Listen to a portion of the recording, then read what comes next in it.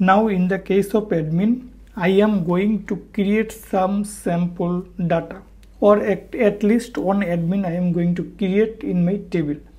If I go to the table you will see that in the case of user I can register right? But in the case of admin I cannot register as a normal user. Or as a visitor I cannot register in the system as login. That will not be secured at all so admin will be one and that will be fixed in this case.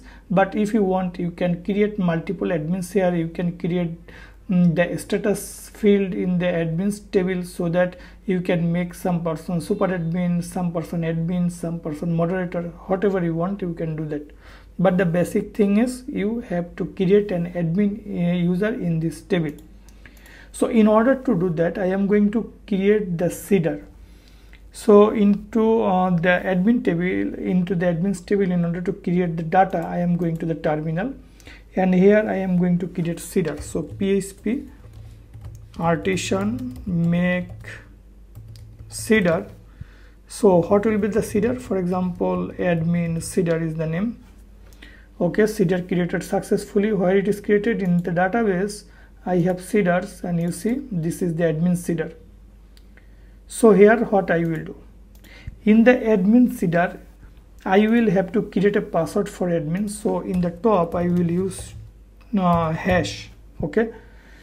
So this is one thing. And I will create a model here. So app models admin.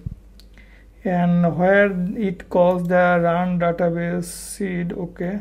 So into the run method I am going to create the admin so in that case i am for example going to create an object object equal to new admin.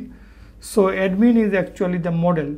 So i am going to get the object for this model i created then i am going to assign some information for the admin. For example the name is admin that is okay. Also the email what will be the email?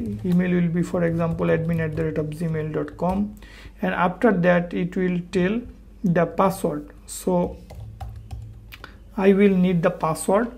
And the, in the case of password hash make here I am going to give the password on to 34 but in the table it will be encrypted using the hash make this method. That means um, the 1234 will not be inserted straight just um, it will be converted or encrypted first and then that will be saved into my table.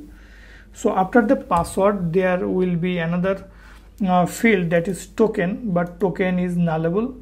Mm, I am going to uh, check my database. So here name you will have to give email you will have to give and password you will have to give. Name email password but all other fields are nullable. That means you can just skip all other fields. Okay. So after that uh, I am going to the database seeder. You see here in the database seeder I am going to run uh, that is this call okay? So in the this call i am going to call admin seeder class. So that is perfect. I do not need to have anything. Now i will run php artisan db seed into my terminal. I will run this command. So just enter. Seeding is successful okay? So if i now go to check my table if i refresh you will see that the admin user comes here this is the admin this is the email. Email verified at actually not needed for the admin. Password is okay token is empty.